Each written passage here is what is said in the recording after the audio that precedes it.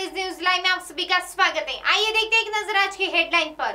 जन्मदिन के पूर्व रात्रि में कांग्रेस के पूर्व नगर सेवक पर जानलेवा हमला। धोनी हुए भाजपा में शामिल, लड़ सकते हैं चुनाव। स्वागत नहीं करेंगे माही भाई का। दूसरी शादी भी तोड़ने की धमकी दी तो युवती ने कर ली खुदकुशी। अब खबरें विस्तार से। पिपरी में जन्मदिन की पूर्व रात्रि में कांग्रेस के पूर्व नगर सेवक गणेश लोंडे पर जानलेवा हमला हुआ है। गुरुवार की रात साढ़े नौ बजे चिचवड़ गाँव के शिवाजी उदय मंडल के सामने यहाँ वारदात हुई है। इस हमले में गंभीर रूप से घायल हो गए हैं। उनका चिचवड़ के निजी अस्पताल में इलाज चल रहा है। जन्मदिन के ही दिन में हुआ है हमला। यह खबर मिलते इलाके में आग की तरह फैल गई है। पुलिस इस मामले की जाँच में जुट गई है।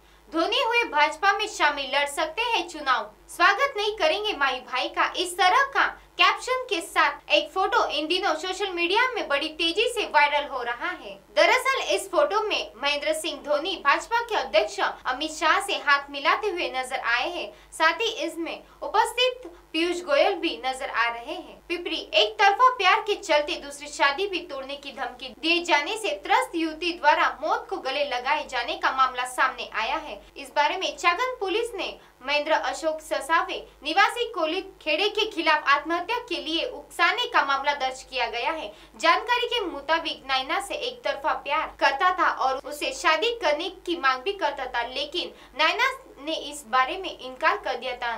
नाइना के लिए रिश्ता आया तो उसने बदनाम कर रिश्ता तोड़ दिया था। इसी बात का सदमा लेकर नायना ने आत्महत्या कर ली। आगे की जानकारी पुलिस कर रही है। तो एम न्यूज़ लाइव की खबर देखने के लिए एम हिंदी ऐप आज प्ले स्टोर ऐसी डाउनलोड करें और हमारे चैनल को लाइक सब्सक्राइब शेयर करना बिल्कुल भी ना भूले। तब तक के लिए धन्यवाद।